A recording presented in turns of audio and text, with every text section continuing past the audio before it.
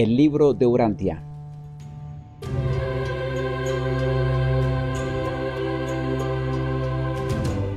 Cuarta parte. La vida y las enseñanzas de Jesús.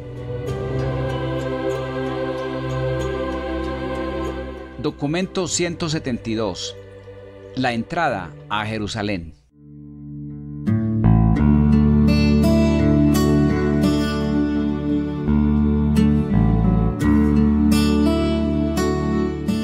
Jesús y los apóstoles llegaron a Betania poco después de las 4 de la tarde del viernes 31 de marzo del año 30 después de Jesucristo.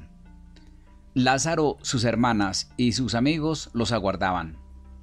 Como venían tantas personas todos los días para hablar con Lázaro de su resurrección, le dijeron a Jesús que habían arreglado que pernoctara con un creyente vecino, un tal Simón, que desde la muerte del padre de Lázaro era el caudillo de la pequeña aldea. Esa tarde Jesús recibió a muchos visitantes y la gente común de Betania y Betfagé hizo todo lo que pudo para que se sintiera que era bienvenido. Aunque muchos pensaban que Jesús iba ahora a Jerusalén desafiando abiertamente el decreto de muerte del Sanedrín para proclamarse rey de los judíos, la familia betaniana, Lázaro, Marta y María, se daba cuenta más plenamente de que el maestro no era esa clase de rey sentían vagamente que esta podía ser su última visita a Jerusalén y Betania. Los altos sacerdotes fueron informados de que Jesús estaba en Betania, pero decidieron que era mejor no intentar tratar de arrestarlo cuando se encontraba entre sus amigos. Decidieron aguardar su venida a Jerusalén. Jesús sabía todo esto, pero estaba majestuosamente calmo, sus amigos no lo habían visto nunca tan compuesto y congenial. Aún los apóstoles estaban sorprendidos de que se le viera tan poco preocupado en el momento mismo en que el Sanedrín había pedido a todos los judíos que se lo entregaran. Mientras el maestro dormía esa noche, los apóstoles lo vigilaban de dos en dos, y muchos de ellos estaban armados con espada. A la mañana siguiente temprano, los despertaron cientos de peregrinos que venían de Jerusalén, aun siendo sábado, para ver a Jesús y a Lázaro, a quien aquel había resucitado después de muerto.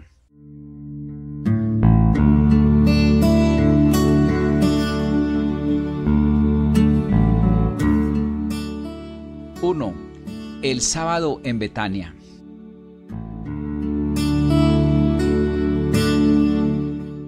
Los peregrinos que provenían de fuera de Judea, así como también las autoridades judías, se preguntaban, ¿qué pensáis?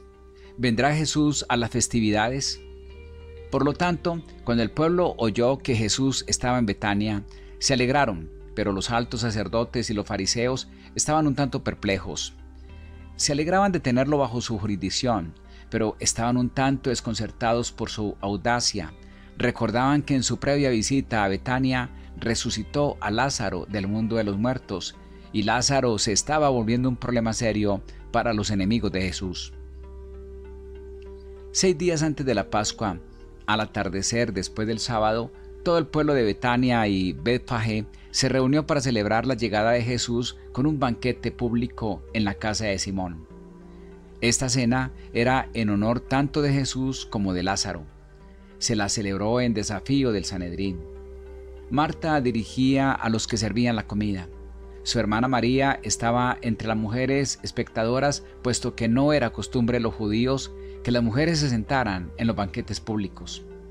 También estaban presentes los agentes del Sanedrín, pero temían apresar a Jesús en medio de sus amigos. Jesús conversó con Simón sobre el antiguo Josué, cuyo nombre él mismo llevaba, y recitó la historia de cómo habían venido Josué y los israelitas a Jerusalén a través de Jericó. Al comentar sobre la leyenda de los muros de Jericó que se derrumbaron, Jesús dijo, No me preocupan los muros de ladrillos y piedras, pero quisiera derrocar los muros del prejuicio, la mojigatería y el odio que se alzan frente a esta predicación del amor del Padre por todos los hombres. El banquete prosiguió en forma alegre y normal excepto que todos los apóstoles estaban insólitamente taciturnos. Jesús estaba excepcionalmente alegre y jugó con los niños hasta el momento de sentarse a la mesa. No pasó nada fuera del ordinario hasta cerca del cierre del festín, cuando María, la hermana de Lázaro, se separó del grupo de mujeres espectadoras, adelantándose a donde Jesús estaba reclinado en el sitio de honor. Abrió una gran vasija de alabastro que contenía un ungüento muy raro y costoso.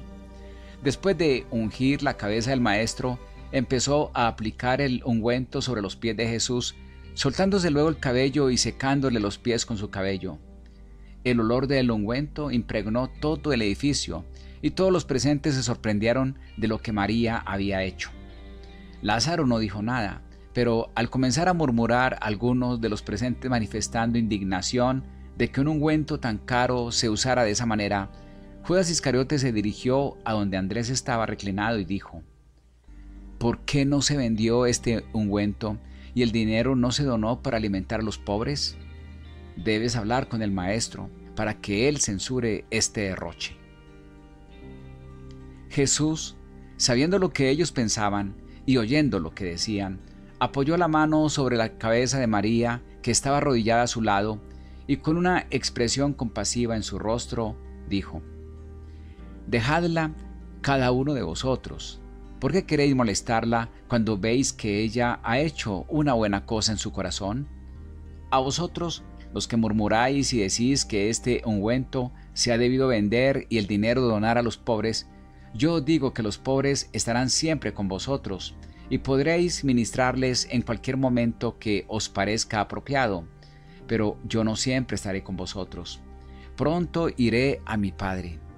Esta mujer viene guardando este ungüento desde hace mucho tiempo para ungir mi cuerpo en su entierro. Si ahora le parece bien ungirme en anticipación de mi muerte, esa satisfacción no le será negada. Con esta acción María os censura a todos vosotros porque ella manifiesta así su fe en lo que yo he dicho sobre mi muerte y ascensión a mi Padre en el cielo. Esta mujer no será censurada por lo que ha hecho esta noche. Más bien yo os digo que en todas las eras por venir donde quiera que se predique este Evangelio en el mundo entero, se relatará lo que ella ha hecho en su memoria. Fue a causa de este reproche el que Judas Iscariote lo interpretó como censura personal y finalmente decidió vengar sus sentimientos heridos. Muchas veces había tenido subconscientemente estas ideas, pero ahora se atrevía a pensar estos pensamientos malvados en su mente consciente y abierta. Muchos otros lo alentaron en esta actitud, puesto que el costo de este ungüento era una suma equivalente a lo que ganaba un hombre durante un año, suficiente para proveer pan a cinco mil personas. Pero María amaba a Jesús. Ella había proveído este precioso ungüento para embalsamar su cuerpo a la hora de su muerte, porque creía en sus palabras cuando Él les anticipó que debía morir, y si ella cambiaba de idea y elegía otorgar esta ofrenda al Maestro, mientras él aún estaba vivo, nadie debía impedírselo. Tanto Lázaro como Marta sabían que María había ahorrado por mucho tiempo el dinero con el cual compró la vasija de espicanardo y aprobaban de todo corazón su anhelo en este asunto porque eran ricos y podían permitirse fácilmente esta ofrenda. Cuando los altos sacerdotes se enteraron de esta cena en Betania en honor de Jesús y Lázaro, consultaron entre ellos para ver qué debían hacer con Lázaro, y finalmente decidieron que Lázaro también debía morir. Concluyeron atinadamente que sería inútil matar a Jesús si permitían que Lázaro, a quien Jesús había resucitado entre los muertos, siguiera viviendo.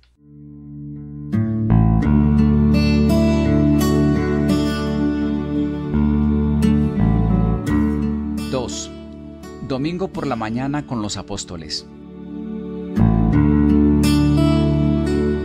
Este domingo por la mañana, en el hermoso jardín de Simón, el maestro llamó a su alrededor a sus doce apóstoles y les impartió sus instrucciones finales de preparación antes de entrar a Jerusalén. Les dijo que él probablemente pronunciaría varios discursos y enseñaría muchas lecciones antes de volver al Padre, pero exhortó a los apóstoles que no realizaran obra pública durante la estadía de Pascua en Jerusalén.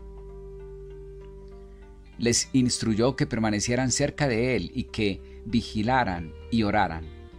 Jesús sabía que muchos de sus apóstoles y seguidores inmediatos ceñían espadas bajo el manto aún en ese momento, pero no se refirió en nada a este hecho. Estas instrucciones matutinas comprendieron un breve repaso del ministerio de ellos desde el día de, su ordenación cerca de Cafarnaún hasta este día en que se preparaban para entrar a Jerusalén. Los apóstoles escucharon en silencio sin hacer preguntas. Esa mañana temprano, David Zebedeo entregó a Judas los fondos obtenidos de la venta del equipo del campamento de Pella, y Judas a su vez colocó la mayor parte de este dinero en las manos de Simón, su anfitrión, para que lo custodiara en anticipación de las exigencias de dinero cuando fueran a Jerusalén. Después de la conferencia con los apóstoles, Jesús conversó con Lázaro y lo amonestó a que no sacrificara su vida al espíritu vengativo del Sanedrín. Por obedecer esta admonición, Lázaro, pocos días después, huyó a Filadelfia, cuando los oficiales del Sanedrín enviaron varios hombres para que lo arrestaran. En cierto modo, todos los seguidores de Jesús tenían la sensación de una crisis inminente, pero no se percataron plenamente de la seriedad de la situación debido al tono inusitadamente alegre y al excepcional buen humor del maestro.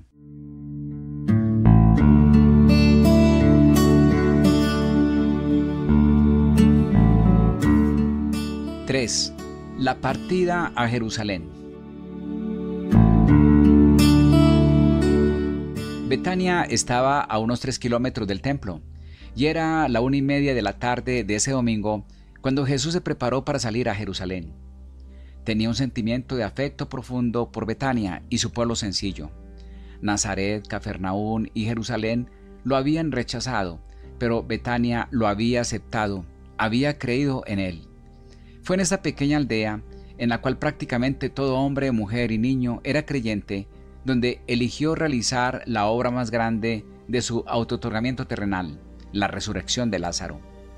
No hizo resucitar a Lázaro para que creyeran los aldeanos, sino más bien porque ellos ya creían. Durante toda la mañana, Jesús pensó en su llegada a Jerusalén. Hasta ese momento había procurado siempre suprimir toda aclamación pública de que él fuera el Mesías, pero ahora la situación era distinta. Se estaba acercando al fin de su carrera en la carne, el Sanedrín había decretado su muerte y no había peligro en permitir que sus discípulos dieran libre expresión a sus sentimientos, cosa que ocurriría si él elegía hacer una entrada formal y pública a la ciudad. Jesús no decidió realizar esta entrada pública a Jerusalén como su último intento por conseguir el favor popular, ni tampoco en un intento final de obtener el poder. Tampoco lo hizo para satisfacer los deseos humanos de sus discípulos y apóstoles. Jesús no se hacía las ilusiones de soñador quimérico. Él bien sabía cuál sería la conclusión de su visita. Habiendo decidido hacer una entrada pública a Jerusalén, el maestro se enfrentó con la necesidad de elegir un método apropiado para ejecutar esta decisión.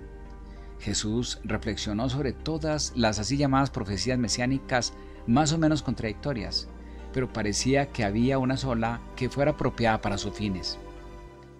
La mayoría de estas declaraciones proféticas hablaban de un rey, el hijo y sucesor de David, un libertador temporal audaz y agresivo que liberaría a Israel del yugo de la dominación extranjera. Pero había una escritura, asociada a veces con el Mesías, por los que tenían un concepto más espiritual de su misión, que Jesús consideró la más apropiada como guía para su proyectada entrada a Jerusalén. Esta escritura se encontraba en Zacarías y decía, Alégrate mucho, oh hija de Sión, da voces de júbilo, oh hija de Jerusalén. He aquí tu rey vendrá a ti, es justo y trae salvación. Viene como viene el humilde, cabalgando sobre un asno, sobre un pollino hijo de asna. Un rey guerrero siempre entraba a una ciudad montado a caballo, un rey en misión de paz y amistad, siempre entraba cabalgando un asno. Jesús no quería entrar a Jerusalén a caballo, pero estaba dispuesto a entrar en paz y con buena voluntad como el Hijo del Hombre, cabalgando un jumento. Durante mucho tiempo y mediante una enseñanza directa, Jesús trató de convencer a sus apóstoles y a sus discípulos que su reino no era de este mundo, que era un asunto puramente espiritual. Pero no había tenido éxito en este esfuerzo. Ahora, lo que no había conseguido hacer mediante una enseñanza clara y personal, lo intentaría realizar con un gesto simbólico. Por lo tanto, inmediatamente después del almuerzo, Jesús llamó a Pedro y Juan y después de decirles que fueran a Betfagé, una aldea vecina un tanto retirada de la carretera principal y a corta distancia al noroeste de Betania, agregó: Id a Betfagé, y cuando lleguéis al empalme de los caminos, encontraréis el potro de un jumento ayatado. Desatadlo y traedlo con vosotros. Si alguien os pregunta por qué hacéis esto, decid simplemente, el maestro lo necesita. Cuando los dos apóstoles fueron a Befagé, tal como les había pedido el maestro, encontraron el potro atado cerca de su madre en la calle, junto a una casa de esquina. Cuando Pedro comenzó a desatar al potro, vino el dueño y preguntó por qué hacían ellos eso. Y cuando Pedro le respondió tal como Jesús les había indicado, el hombre dijo, Si vuestro maestro es Jesús de Galilea, que se lleve al potro. Así pues, ellos volvieron trayendo al potro. Ya varios cientos de peregrinos se habían reunido alrededor de Jesús y de sus apóstoles. Desde media mañana se habían detenido muchos visitantes que pasaban camino a la Pascua. Mientras tanto, David Zebedeo y algunos de sus ex asociados mensajeros decidieron dirigirse de prisa a Jerusalén, donde eficazmente difundieron la nueva entre los gentíos de peregrinos visitantes alrededor del templo de que Jesús de Nazaret entraría triunfante a la ciudad. Por consiguiente, varios miles de estos visitantes se congregaron para recibir a este profeta y hacedor de portentos, del cual tanto se hablaba, quien algunos creían ser el Mesías. Esta multitud, al salir de Jerusalén, encontró a Jesús y a la multitud que iba a la ciudad poco después de que franquearan la cima del Oliveto y habían comenzado su descenso hacia la ciudad. Al comenzar la procesión en Betania, había gran entusiasmo en las multitudes festivas de discípulos creyentes y peregrinos visitantes, muchos provenientes de Galilea y Perea. Justo antes de partir, las doce mujeres del cuerpo original de mujeres, acompañadas por algunas de sus asociadas, llegaron al lugar y se unieron a esa singular procesión que procedía jubilosamente hacia la ciudad. Antes de empezar, los gemelos Alfeo pusieron sus mantos sobre el asno y los sostuvieron mientras se subía el maestro. A medida que la procesión procedía hacia la cima del oliveto, el gentío festivo arrojaba sus indumentos al suelo y traía ramas de los árboles cercanos para hacer una alfombra de honor para el jumento que traía al Hijo Real, el Mesías prometido. Al proceder la multitud jubilosa hacia Jerusalén, comenzaron a cantar es decir, a gritar al unísono el salmo Osana al Hijo de David. Bendito sea aquel que viene en el nombre del Señor. Osana en las alturas. Bendito sea el reino que baja del cielo. Jesús se mostró alegre y despreocupado hasta que llegaron a la cumbre del Oliveto, donde se abría la vista panorámica de la ciudad con las torres del templo. Allí el maestro detuvo la procesión y un gran silencio cayó sobre todos mientras lo contemplaban llorar. Bajando los ojos a la vasta multitud que venía de la ciudad para recibirlo, el maestro, con mucha emoción y con la voz entrecortada, dijo, Oh Jerusalén, si tan solo hubieras conocido aún tú, por lo menos a este tu día, las cosas que pertenecen a tu paz que podríais haber tenido tan libremente pero ya estaban para ocultarse de tus ojos estas glorias. Estás por rechazar al Hijo de la Paz y volver la espalda al Evangelio de la Salvación. Pronto llegarán los días en que tus enemigos abrirán trincheras alrededor de ti y serás sitiado por doquier. Te destruirán completamente, pues no quedará piedra sobre piedra, Y todo esto caerá sobre ti porque no supiste reconocer el momento de tu visitación divina. Estás por rechazar el don de Dios y todos los hombres te rechazarán a ti. Cuando terminó de hablar, comenzaron el descenso del Oliveto y finalmente se reunieron con la multitud de visitantes que venía de Jerusalén con ramas de palma, gritando hosanas y de otras maneras expresando regocijo y sentimiento de comunidad.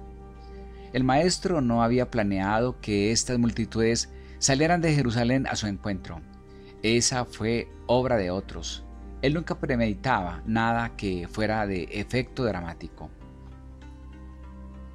Juntamente con la multitud que salió para recibir al maestro, también había muchos fariseos y otros enemigos de él.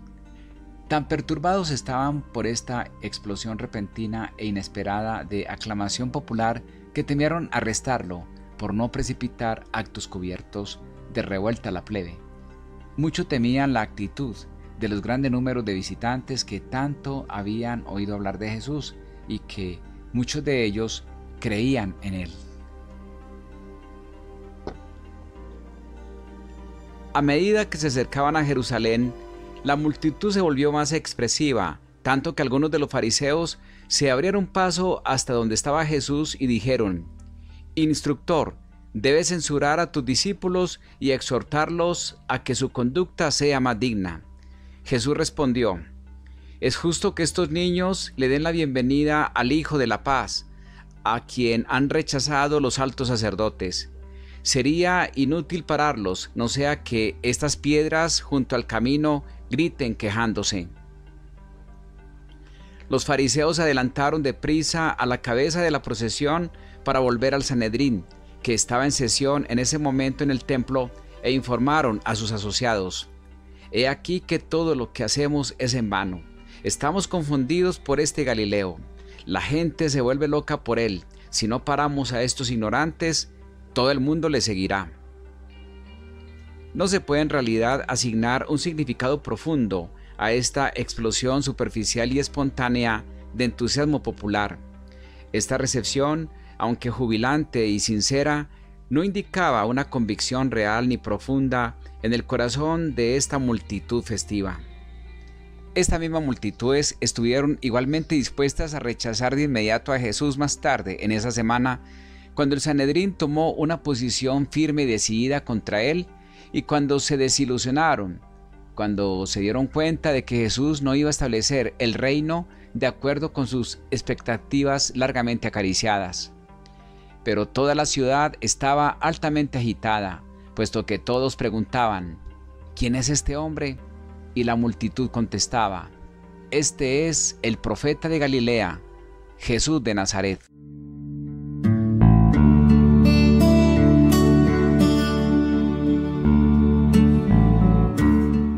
4. La visita al templo.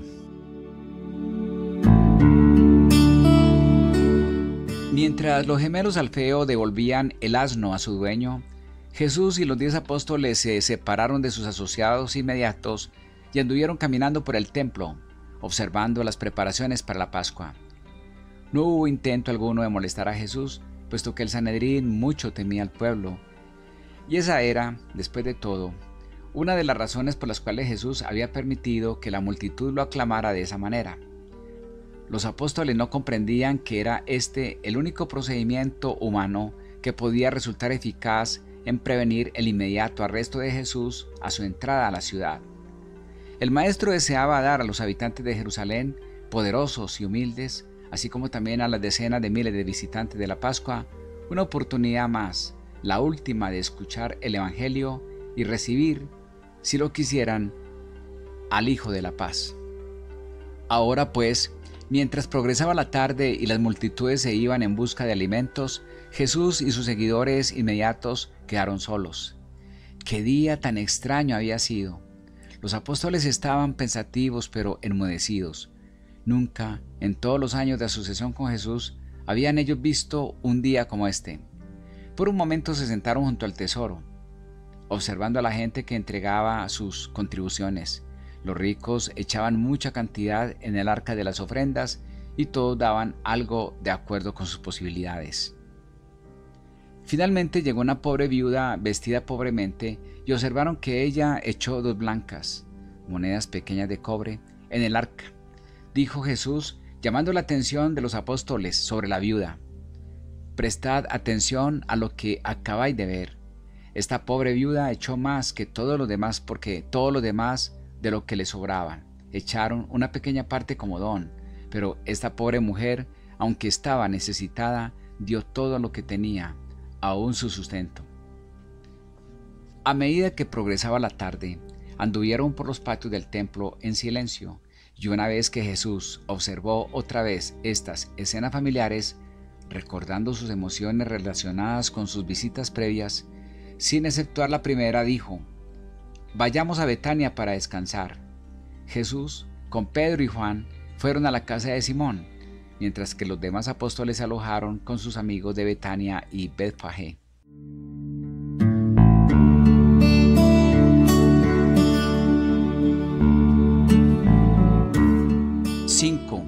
La actitud de los apóstoles.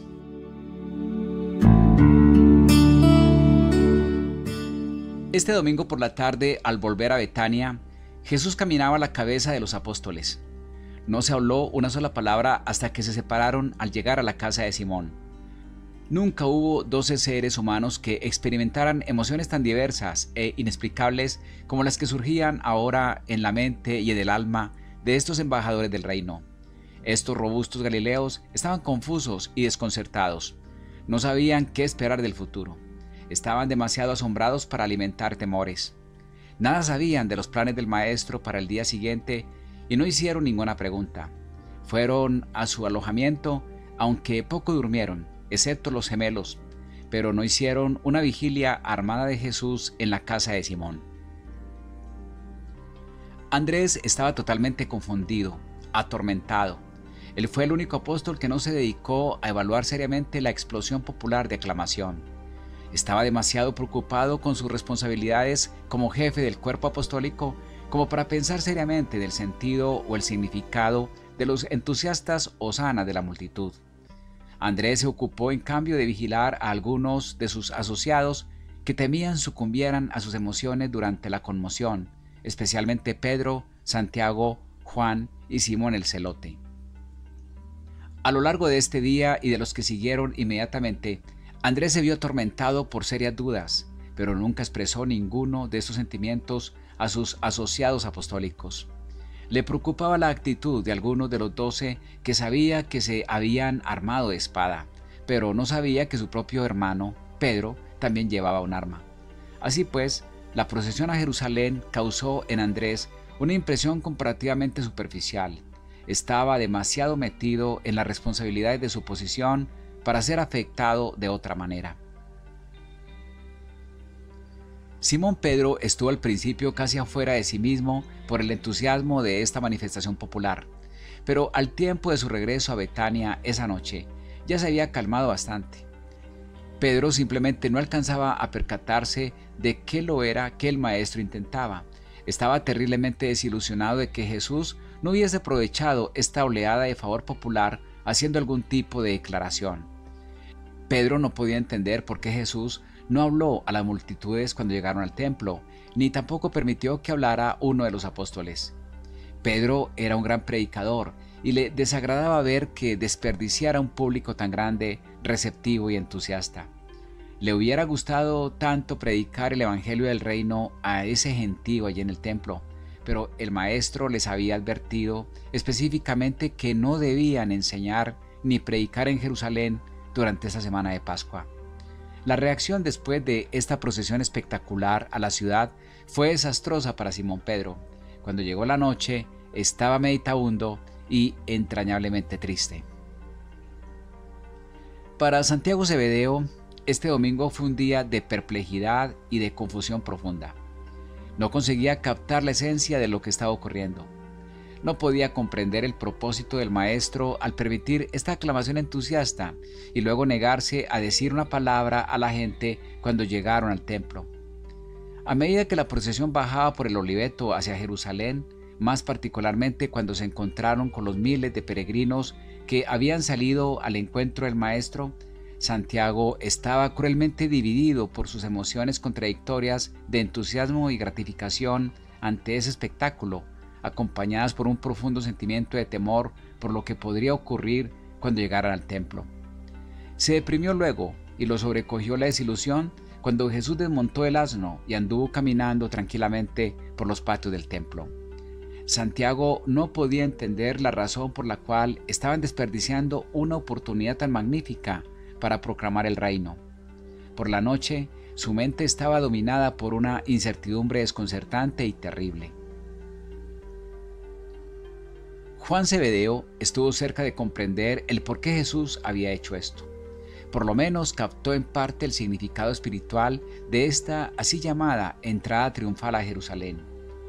A medida que la multitud proseguía hacia el templo y que Juan contemplaba a su maestro sentado sobre el asnillo, recordó haber oído cierta vez a Jesús citar el pasaje de la Escritura, las palabras de Zacarías, que escribían la llegada del Mesías a Jerusalén como hombre de paz, cabalgando en un asno. A medida que Juan reflexionaba sobre esta escritura, comenzó a comprender el significado simbólico de esta procesión de la tarde de domingo. Por lo menos captó lo suficiente del significado de esta escritura para que le permitiera disfrutar en cierto modo del episodio y para evitar deprimirse excesivamente por la conclusión aparentemente sin propósito de la procesión triunfal. Juan tenía un tipo de mente que tendía naturalmente a pensar y sentir en símbolos.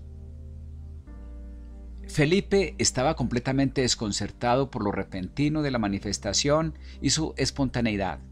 Mientras descendían del oliveto, no pudo ordenar sus pensamientos lo suficiente como para determinar el significado de esta demostración. En cierto modo, disfrutó de este acontecimiento porque su maestro estaba siendo honrado. Para cuando llegaron al templo, estaba perturbado por el pensamiento de que Jesús tal vez le pidiera que se ocupara de alimentar a la multitud, de modo que la conducta de Jesús al darle la espalda a la multitud, que tan duramente desilusionó a la mayoría de los apóstoles, fue un gran alivio para Felipe. Las multitudes habían constituido a veces una dura prueba para el mayordomo de los doce. Después de experimentar alivio por estos temores personales relativos a las necesidades materiales de las multitudes, Felipe se unió a Pedro en expresar su desilusión por no haberse hecho nada por enseñar a las multitudes. Esa noche Felipe se puso a reflexionar sobre estas experiencias y estuvo tentado a dudar de toda la idea del reino se preguntaba honestamente qué significaban todas estas cosas, pero no le expresó sus dudas a nadie. Amaba demasiado a Jesús. Tenía una gran fe personal en el Maestro. Natanael, además de apreciar los aspectos simbólicos y proféticos, fue el que más se acercó a comprender la razón del Maestro por reclutar el apoyo popular de los peregrinos pascuales. Se dio cuenta, antes de que llegaran al templo, que si no hubiera Jesús entrado a Jerusalén en forma tan espectacular, habría sido arrestado por los oficiales del Sanedrín y arrojado en una celda en cuanto diera los primeros pasos dentro de la ciudad. Por lo tanto, no estuvo sorprendido en lo más mínimo cuando el maestro, después de impresionar así a los líderes judíos para que no lo arrestaran inmediatamente, no hizo uso alguno de las multitudes aclamantes una vez que llegaron dentro de los muros de la ciudad. Comprendiendo la verdadera razón de esta manera de entrada del maestro a la ciudad, Natanael naturalmente siguió con más donaire y estuvo menos perturbado y desilusionado por la conducta subsiguiente de Jesús que los otros apóstoles. Natanael tenía gran confianza en la habilidad de Jesús para comprender a los hombres, así como también en su sagacidad y agudeza al manejar situaciones difíciles. Mateo al principio estuvo confundido por esta manifestación espectacular. No captaba el significado de lo que veían sus ojos, hasta que también recordó la escritura de Zacarías, donde el profeta aludía al regocijo de Jerusalén, porque llegó su rey trayendo salvación y cabalgando un pollino de jumento. A medida que la procesión se iba acercando a la ciudad y luego en dirección al templo, Mateo entró en éxtasis estaba seguro de que ocurriría algo extraordinario cuando el maestro llegara al templo a la cabeza de esta multitud vociferante. Cuando uno de los fariseos se mofó de Jesús diciendo, Mirad, Mirad todos, ved quién es el que aquí viene, el rey de los judíos cabalgando en un asno.